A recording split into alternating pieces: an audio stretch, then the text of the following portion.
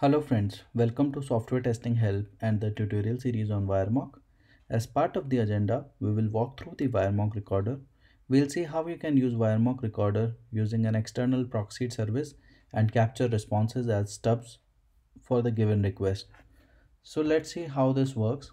You can see in this figure, the sequence of actions are numbered.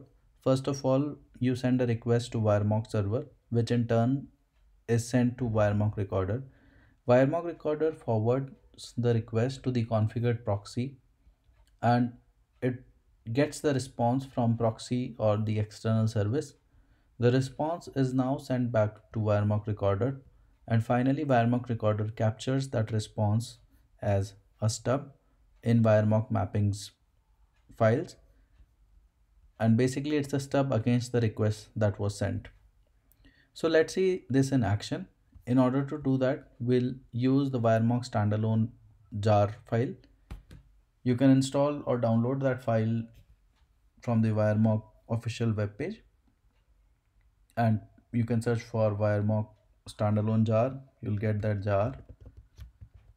Now on your terminal simply run it as a any other jar java minus jar and the jar file name. Wait for this wiremock message to come. That means our server has successfully started. Now let's see how you can start the recorder. So the url for recorder is localhost 8080 admin slash recorder.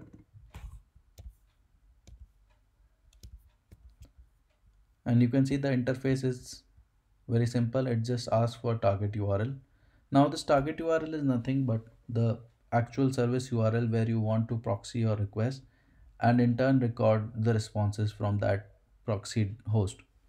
So we'll use a fake API called reqres.in. It's an API hosted on internet and it provides you fake data for some endpoints like list users, single user. If you hit like something like reqres.in slash API users too, you'll get some fake response and things like that. So we'll use host as reqres.in and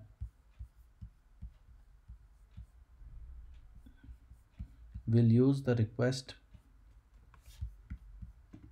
as probably list users. So what we want is when we hit api slash user slash 2 whatever response is returned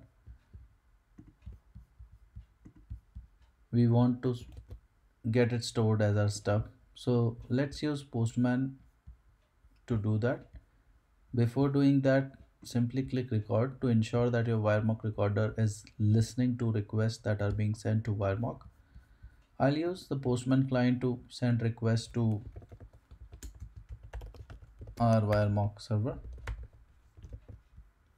And this is a get request to API slash user slash 2 and we are sending it to localhost 8080 that's our WireMock server.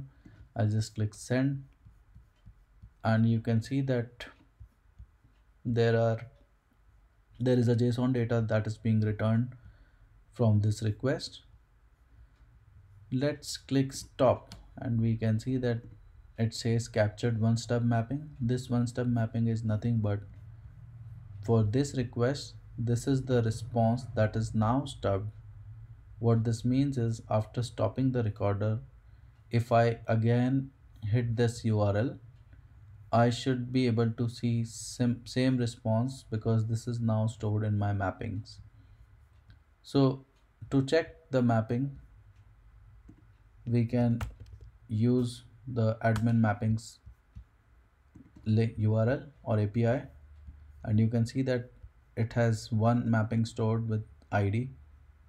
It gives some values depending on the request, some syntax and you can see the request url is api slash user slash 2 and body is this. So now let's try requesting it again. And we should get the same response. And our recorder is already stopped. Let's try hitting some other url slash 3 or something. So it says uh, it gives an error message that request was not matched and things like that. What this means is our stub is successfully recorded and for any other url will get error message but for api slash user slash 2 we get messages the actual JSON response that was sent from service. So that is how you can use WireMock recorder and store stub mappings. And also you can again use the WireMock recorder to add more mappings. Suppose I add it again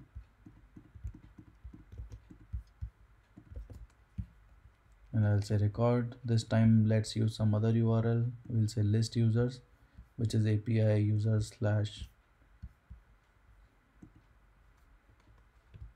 page equal to 2 let me hit send.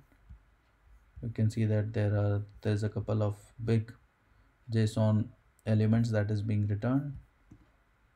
Uh, says stop that again says captured one stub mappings let's see the mappings you can see that there is one more mapping being added with API user slash page 2 I'll get some other response.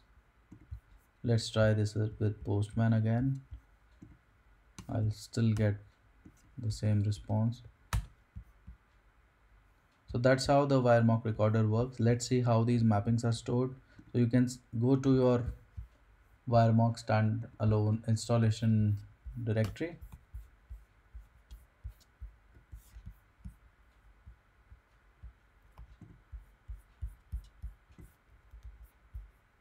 and you can see there's a in your standalone jar installation directory there's a folder called mappings.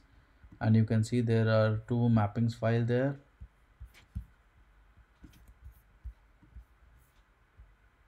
So this one is for our first request. And this one is for our second list of users request.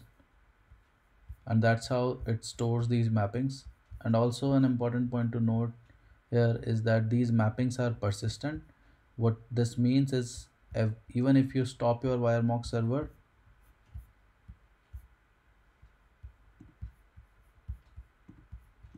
so even if you stop your wiremock server these mappings are going to stay here.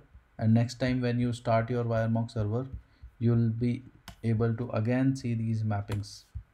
So I've started it again. Let's try getting these mappings so I have this admin mappings URL that is API get mappings and I can still see these mappings are there. So these mappings are persistent by default. What this means is they'll still persist even if you stop your wiremock instance and restart it and these mappings will load from the mappings directory that gets stored. So that's it for this video tutorial. Thank you